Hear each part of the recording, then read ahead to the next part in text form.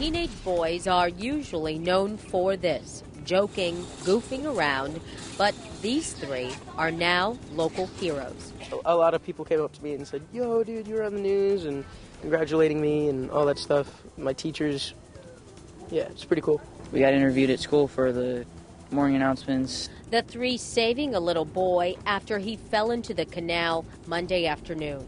We were basically just sitting here fishing, and we could see the kid.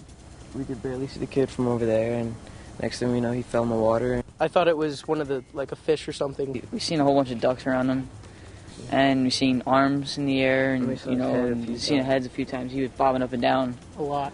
so we got up as fast as we could. The teens running to the other side, jumping in.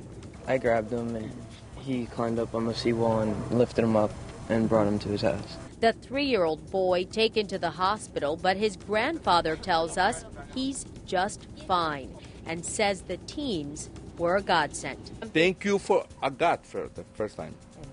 Yeah, and then to them because he, the God not not sent to them to help my, my, my, my son or my grandson.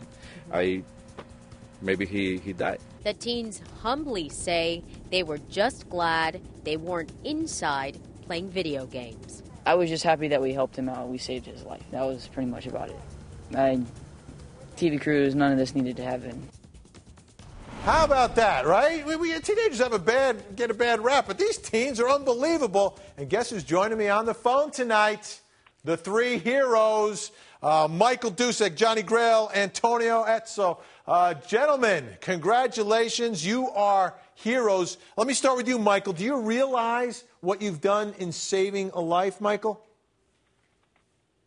Kind of. Kind of.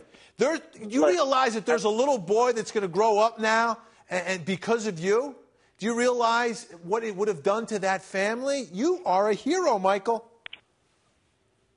Thank you. Thank you. It, it, all right, let me go to Johnny now. Uh, Johnny, uh, do you have a realization of what it means, what you've done for that family, for that child? That child someday is going to grow up and have children of his own because of you? Uh, well, I, I kind of feel proud of myself, but yet I was just doing a good deed.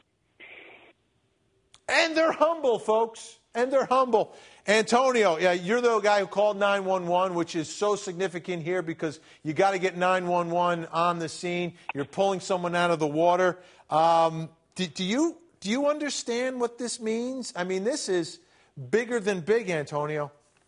Yeah, I, I um, I didn't really think about the whole growing up thing for the kid, but it was just what we had to do at this certain time. Yeah, there, and, and I, I wanted to have you guys on, and I want everyone to see your faces because you guys are the best of the best. Uh, you took action, you saved a life, and you are my heroes tonight. Thanks so much, Michael, Johnny, Antonio. Go back and, and, and do your homework, okay? All right. All right. Take care, guys.